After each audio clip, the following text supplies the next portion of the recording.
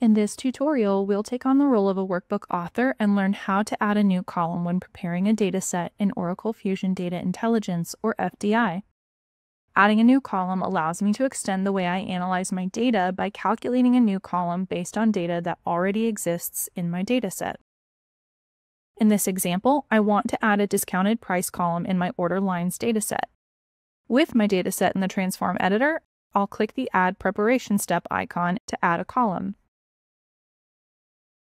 In the Create Column area, I'll enter a name and an expression to define the column.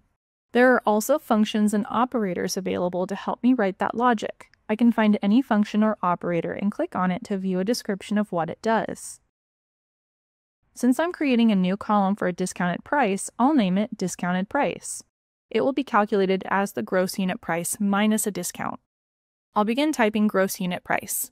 I'll want to select the suggested name instead of typing it in full, or else it won't be properly referenced. Next, I'll type a dash or minus and begin to type discount to select it from the drop-down menu.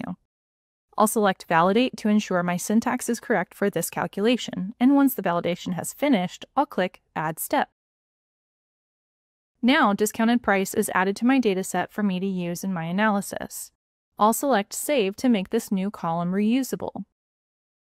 If I want to edit or remove this column, I can use the Steps menu on the script preparation panel and select any of those operations. Now that I've added a new column, I can create more tailored metrics to support better decision making. Find additional videos and more information on using Fusion Data Intelligence resources in the links below.